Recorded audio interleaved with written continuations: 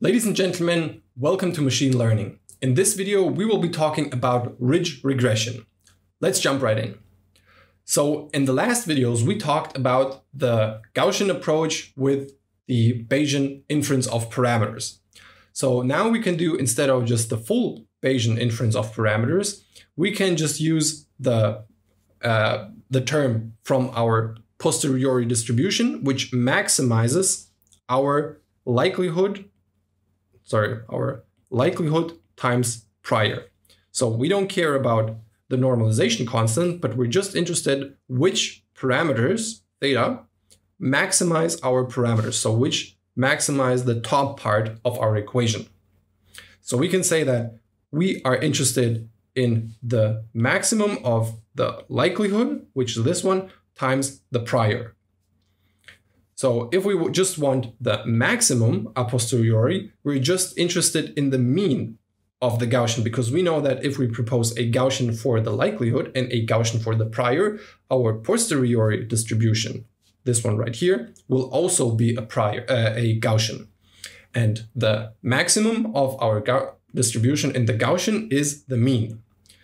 So we can say that our maximum a posteriori is just the mean function or the mean that we derived in, here it is, in the last video. So if you're interested how we got it, this is the one right here. If we now say, well, we have a uniform prior, so we do not have a Gaussian as a prior, but just a uniform prior where each uh, value is equally likely, we say that our maximum a posteriori will at the end equal the maximum likelihood approach, the same that we had in the frequentist approach to regression. So we say that if our variance is goes to infinity, so it's just a diagonal matrix with very high values on the diagonal, and if we invert that, we will get a zero matrix here, a zero matrix here, it will cancel out the mu, and we will see that if we uh, multiply these terms together, we see that we get a phi transposed transposed phi to the power of minus 1 phi transposed times y, and this is exactly the term that we got from the linear least squares. But now we can go one step further and not propose a uniform prior, but a zero mean Gaussian prior. So we're saying that we expect our parameters to be small and centered around zero. So this is where the zero mean and the ridge regression comes into play. So we say that our parameters, so the probability of our parameters given the data are proportionate to this is our likelihood, and this is our prior, where we are centered around the mean with a given variance.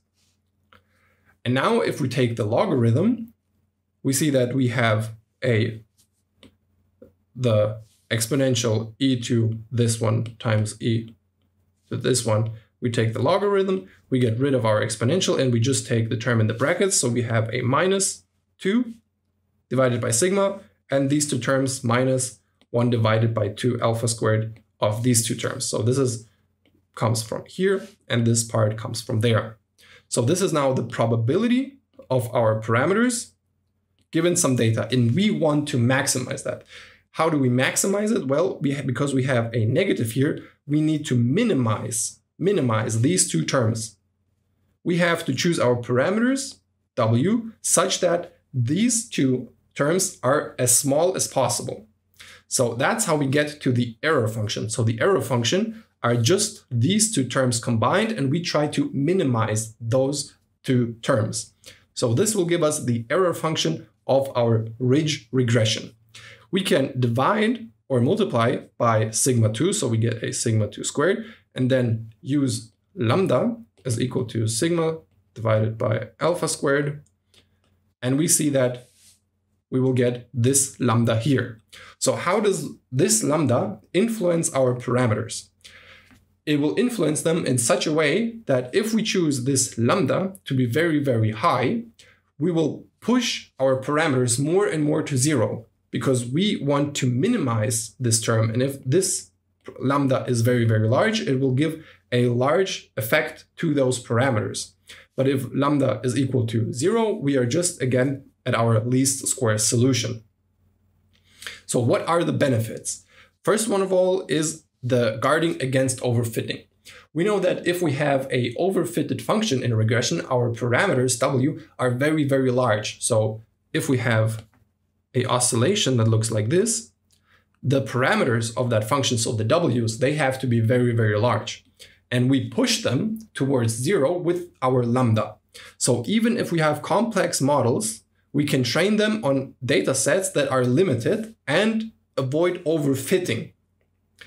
And of course, it helps with ill conditioning. So if we cannot invert this matrix, if we add some terms, we always will be able to invert that matrix. And it provides us a solution to a undetermined set of equations. So if n is, is smaller than m. The problem of the ridge regression is that how do we choose this lambda? And this lambda again has to be entweder uh, guessed or it could be uh, determined with cross validation. But this is again computationally very, very expensive. So let's summarize. We proposed a maximum a posteriori approach where we said we just care about the maximum of this term. And this is actually the maximum of these two values multiplied. Then we said that this will be maximum at the mean. And if we propose a uniform prior, we will see that we will get the same values as our maximum likelihood approach. And if we propose a zero mean, that's where the ridge regression comes into play we push our parameters with the help of our lambda, our lambda, more and more towards zero. And if we do that, we guard against overfitting and we are able to train complex models that have a low bias and still get a very low variance. So this is the most important part. We it enables us to train complex models on smaller data sets. But the problem again is how do we get that lambda? This will be determined by, for example, cross-validation or just simply trial and error. I hope this video gave you a better understanding regarding the ridge regression. If you have any questions regarding the derivation or any tasks or examples, feel free to ask them in the comments down below. Thank you very, very sorry for that. Thank you very much for your attention and I'll see you in the next video.